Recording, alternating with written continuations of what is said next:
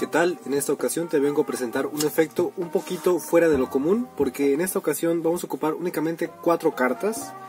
Ya no es el típico juego de seguir a la carta para encontrarla o cosas por el estilo y vamos a tomar las cartas de el as al... por aquí estaba... aquí está. Del as al 4 de picas, ¿ok? Únicamente esas cuatro cartas. No necesitamos más, no necesitamos menos, solo mucha atención. Observa. Lo que vamos a hacer es eh, ver primero, es As, 2, 3, 4 de picas. Observa. Lo que vamos a hacer es cuadrar las cartas.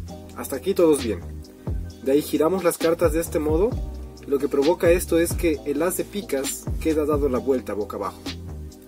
Lo podemos repetir. Cuadramos, giramos de este modo. Y ahora la que está dada la vuelta es el 2 de picas.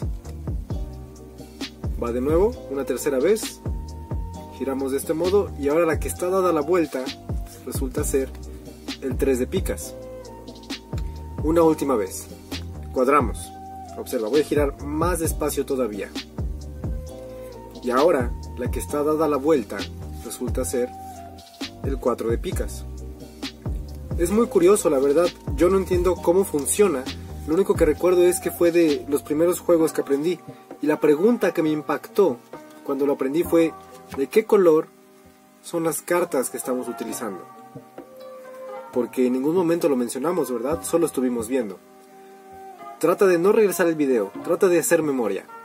Porque siempre que te preguntan algo en lo que supuestamente no pones atención, fallas. Pero si contestaste que las cartas son azules, estás en lo correcto. Las cuatro cartas que yo tengo del as al 4 de picas son cartas azules. ¿Y la baraja de qué color era? Recuerdas que también era azul, ¿verdad? Todas las cartas que utilizamos en este video han sido azules. Muchas gracias por ver, nos vemos en el siguiente video.